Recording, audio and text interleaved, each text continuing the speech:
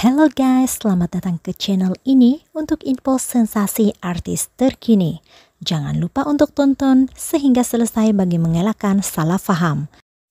Sebelum itu, jangan lupa tekan like, komen, dan share video ini. Bagi Anda yang belum subscribe, sila subscribe channel ini. Thank you, selamat menonton. Menerusi perkongsian di Instagram, Suhada atau nama sebenarnya Nurul Suhada Matsukri berkata, pencapaian tersebut merupakan berkat kesabaran dan usahanya selepas menjadi wajah kepada sebuah produk pelangsingan.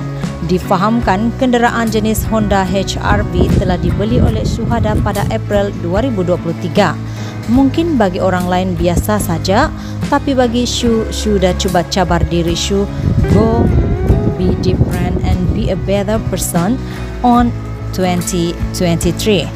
Even a single mother diceraikan without single cents in my bank account, katanya.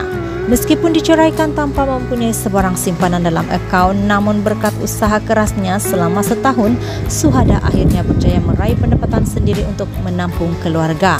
Untuk rekod, Suhada dan Hafiz mendirikan rumah tangga pada 30 April 2016 dan dikurniakan sepasang cahaya mata yaitu Umar Humaira dan Umar berusia 4 tahun. Pasangan itu bagaimanapun sah bercerai pada 27 Julai tahun lalu selepas Mahkamah Rendah Syariah Shah Alam Selangor menetapkan lafaz yang dibuat pada 22 Februari sebelumnya adalah sah. Sekian info, terima kasih.